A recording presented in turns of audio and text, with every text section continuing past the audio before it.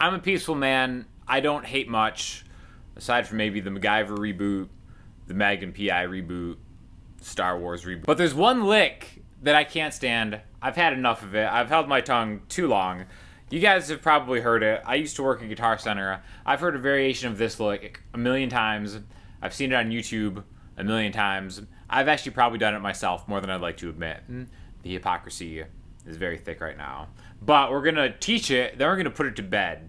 That seems counterintuitive, but it's going to sound like this. so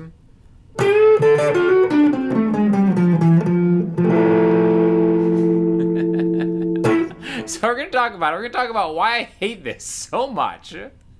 because it's three completely disconnected ideas, but I think there probably is some kind of educational value in just like looking at the ideas so you know what not to do and then maybe what you can do. All right?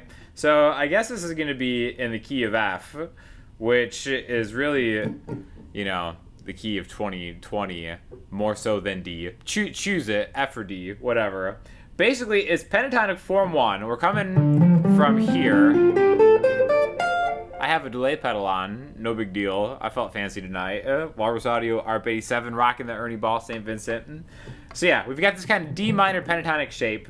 We're gonna do some stuff in here, just some stuff to show off, and then we're gonna end here, which is an mm. F note, right? D minor and F major go really well together, and this is how we prove to people that we know this, all right? So, first things first, we got that minor pentatonic thing. What we need to do is this. Okay, so this is, I don't have an issue with this. This is just blues lick, right? You take your ring finger, the 12th fret on the G string, bend it while you have it bent up, hit the 10th fret, B and E, then the G string, the blue note, right? We know the blues. You've just announced to everyone at Guitar Center that you watched one Stitch Method video on how to play the blues. Right? That's cool. I'm I don't begrudge you for it. That's great, right? So we've got this bend on the G string.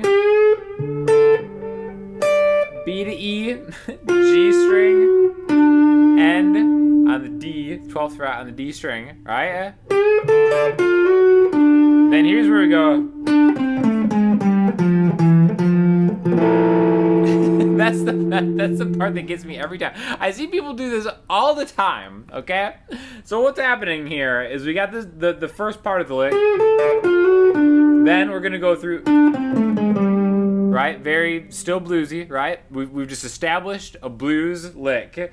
D string, 12 10, A string.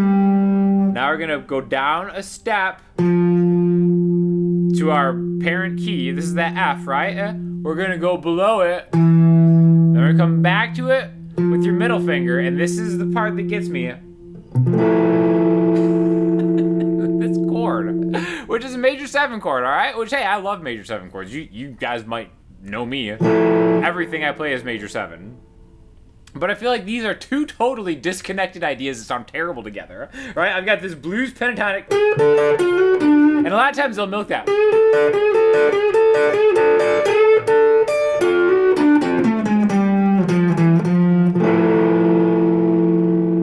And then they're done. it's the dumb it's the dumbest thing. So middle finger is on the F on the A string. There's the major third. There's that major seven to, to show what's up. Oh, it's like I know a jazz chord, even though out of context, whatever. Uh, don't get me started on that. And then your pinky is gonna grab the octave of the major third, the tenth fret of the B string. It's always played with distortion, so it sounds terrible. And then, God forbid, they have a whammy bar.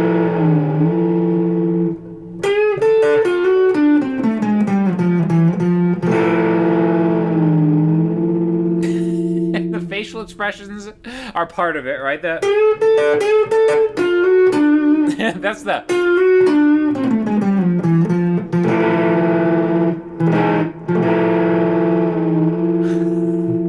I swear to God, I've heard people do this all the time. Now there are variations, right? Maybe they don't have that. Maybe it's not always that blue note right there. Sometimes it's like uh, like a backwards like.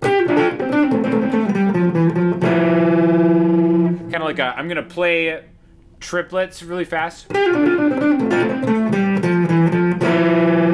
gonna sound bad, and but it, it always ends here. It doesn't have to be this chord. Sometimes I see people do uh, like maybe this chord, like eight, nine, nine, ten. Sometimes maybe this.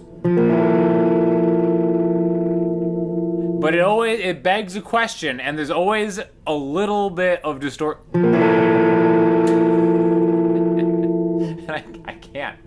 I can't do it anymore, guys. But now you can do it.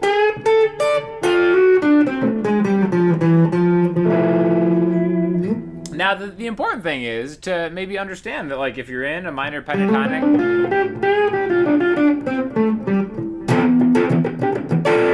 like this note right here is going to be the root note of maybe the major scale that you're using.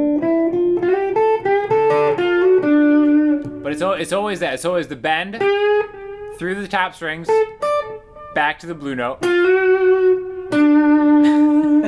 with some wild vibrato.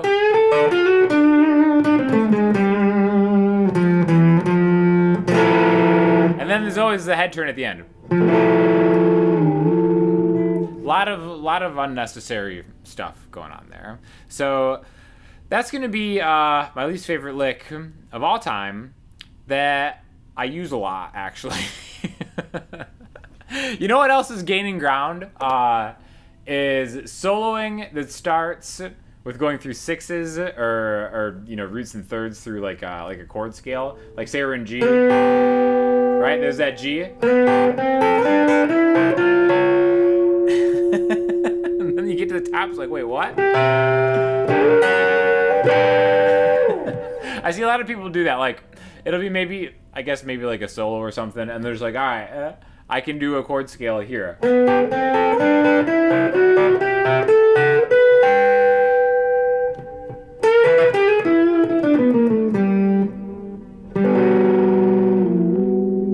it's a combo, a special combo deal for you. So again, I just had to get that off my chest. I'm really sorry.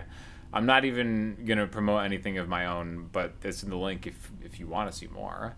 If you have any questions, uh, a fun way to increase engagement would be for you to tab out your least favorite licks in the comments and have the viewers decide which one is your least favorite. Thanks for watching.